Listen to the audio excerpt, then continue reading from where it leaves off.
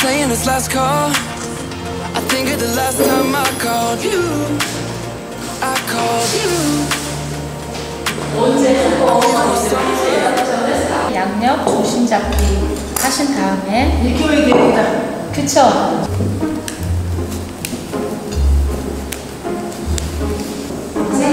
색깔을 컬러를 하나 더 입혀서 야 저게 또 저렇게 싸니까 좀 있어 보이네. 큰애 같아요. 맞아. 내용물은 잘 모르겠지만 작년에 서리태콩 농사 지은 거를 여기 이렇게 보자기로 묶어가지고 선물을 드렸거든요. 근데 엄청 너무 좋아하시는 거예요. 네. 저게 만 원짜리 3만 원에 팔 수 있어요. 여기 아 진짜 포장 자, 포장만 잘해도 네. 안에 핑크색이 있으니까 수국꽃처럼 네 밑에 받침이 있다 생각하시고 한 번만 한 번만에? 네 두 번 묶으면 너무 팽팽하게 네 되니까 겉에 하시는 거는 고무줄 한 번만. 오야. 보자기에는 그냥 이렇게 내 귀퉁이 뭐 자꾸 보이는 건데. 그냥 꽝 일반 묶으면 끝나는 건데. 오 너무 예쁘다. 어 뭐야? 저거 못 풀리겠는데 저거? 가져가도? 못 부르겠네 진짜. 아까워가지고. 너무 아깝다. 단지 저렇게 받은 사람이 할 수 없을 거 아니에요. 예뻐 예뻐. 어 너무 예쁘다. 진짜 꽃핀 것 같아요 금손이시. 야. 어 진짜 너무 예쁘다. 꽃밭이 되어버렸어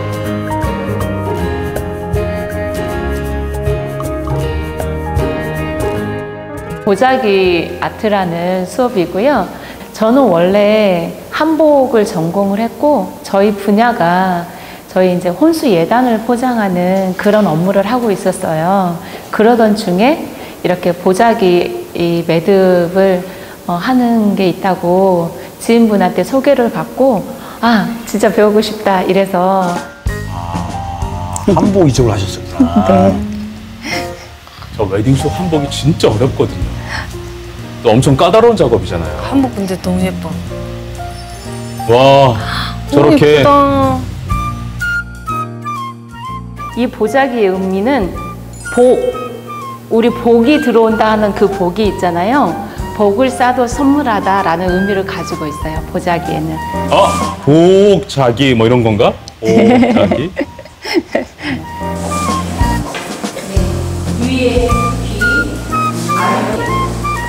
저거 배우러 오시는 분들이 많아, 많이 있어요. 수강생들이. 아주 많지는 않은데요. 간혹 어, 일주일에 한 번 정도, 한 달에 두세 번 정도 배우러 오시는 분들도 있고 이렇게 안에서 리본 매듭 하고 내 귀를 한 번씩만 이렇게 정리만 해주시면 될 것 같아요. 저거 하는 한 번 배워두면 평생 써먹는 기술이겠네요. 진짜. 그냥 실생활에 되게 유용하게 쓸 수 있는 그렇죠, 게 그렇죠. 뭔가 사람이 더 고급스럽게 보이기도 하고. 정성이 있어 보이잖아요, 일단. 네. 저는 저런 게 잘 안 돼요. 그냥 아, 내 근데 귀퉁이 묶어가지고 정말. 저렇게 아주 특별한 손재주가 있어야지 배우는 건 아니시거든요. 아,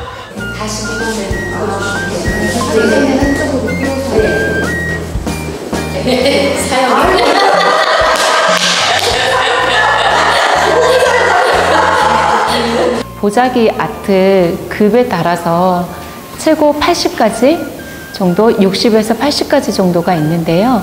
저희가 그냥 가장 실생활에서 많이 쓰는 거는 우와. 예를 들어 어, 뭐. 가방 매듭이라든가 또 와인병 선물을 많이 하시는 분들은 병 매듭, 수국 매듭, 정 매듭, 또 사방 매듭, 궁중 매듭 여러 가지로 활용이 가능하기 때문에 너무 좋은 것 같고요.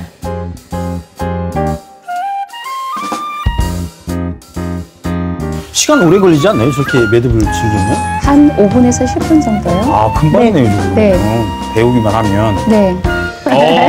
오, 오, 오, 색달라. 네. 오, 야. 야, 영상을 보니까 포장이 하나에 예술이 된 것만 같은 느낌이 들어요. 받는 사람도 기분 너무 좋을 것 같아요. 어, 정말 좋아하시고 받으시는 분들이 되게 감동스럽게 그러니까. 받으시는 것 같아서 그렇구나. 이렇게 일단- 포장해서 드리는 음. 저도 되게 행복하더라고요. 드는 생각이 그냥 튼튼하게 잘 포장하면 되지. 네. 굳이 그렇게 노력을 들여서 이쁘게 해야 되는 생각, 그런 생각이 들었었거든요. 아, 네. 보자기 하면 그냥 네모난 천이에요. 맞아, 맞아. 근데 책을 돌돌 말아서 아시죠? 6, 책보, 70년대. 옛날에 책 그랬죠. 네. 네. 그게 책보였었고요. 그리고 목에 두르면 스카프. 스카프, 이런 용도에 따라서 달라지는 되게 음. 보자기가 매력적인 진짜 매력 덩어리거든요. 네. 아, 저 어렸을 때는 그래서 책보에다 해가지고 가방 없애가지고 책 싸가지고 이렇게 메고 다니긴 했었어요. 네, 맞아요. 야, 진짜 저희- 어떤 시대를 살았던 거야? 아니, 뭐, 많이님도 그러지 않았어요? 저는 아니고요. 언니 오빠 세대들이. 네, 약간 선긋기 지금 들어간 건데, 선긋기. 아니고요. 어, 아니고요.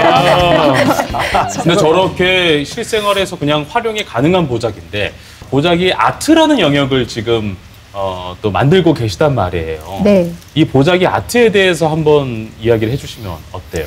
어, 제가 어. 어, 이렇게 선물하는 저희 아. 매장 근처에 호텔이 있어서 호텔에서는 술 이렇게 선물하시는 분이 계셔가지고 우와. 병 보자기네, 이게 지금 병 보자기. 네, 병 포장을 하는 네, 병 매듭이고요. 이게 지금 수국꽃처럼 생겼다고 아, 해서 그러네요. 수국 매듭이거든요. 두 장의 보자기로 이렇게 표현을 한 거고요. 네. 색깔을 조금만 다르게 해주셔도 또 다른 느낌이 그렇다. 네, 네. 그러겠네. 그리고 네. 이거는 머리 닦는 방법으로 매듭이 병 매듭이에요. 우와. 그래서 이렇게 머리 따듯이 따서 음.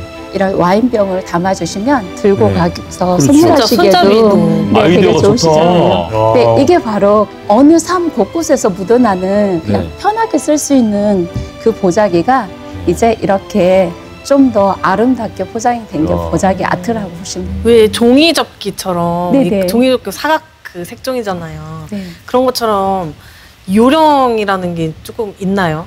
네모난 천으로 아주 다양한 가방을 만들 수가 있거든요. 어. 그냥 양쪽 기퉁이를 이렇게 묶어서 네.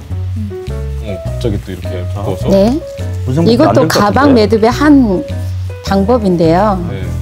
이렇게 뒤집어서 이거서 여기를 어?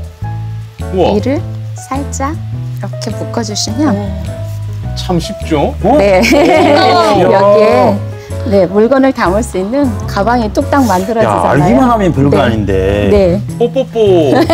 정적기 아저씨 보는 것 같잖아요. 아, 우리 코딱지 여러분. 네. 참 쉽죠? 하면서. 어려운데. 무슨 마, 마술 같은데요, 마술? 네. 우리 임유정 솔직히 보니까 어때요? 뭐 할 수 있을 것 같아요? 어, 할 수 있을 것 같아요. 어, 그래요? 어, 자, 매듭 한번 다 풀어줘 보세요, 지금. 네. 저거 할수 머리. 닦는 거 보셨죠? 네. 네. 한번 해보세요, 해보세요. 너무 띄엄띄엄 보시는 저는 불가능하다고 펴고, 네, 살짝 펴고. 자, 봅니다. 잘. 네, 이제 세 자, 개를 세 이렇게 개를 하세요. 하고. 그런 다음에 이거를 머리 따듯이 하시면 됩니다. 알겠습니다. 자, 임유정 수기께서 만드는 동안 우리는 두 번째 영상을 보고 있을 테니까 자, 두 번째 영상 보고 나면 완성된 분품이 있어야 되는 겁니다. 네.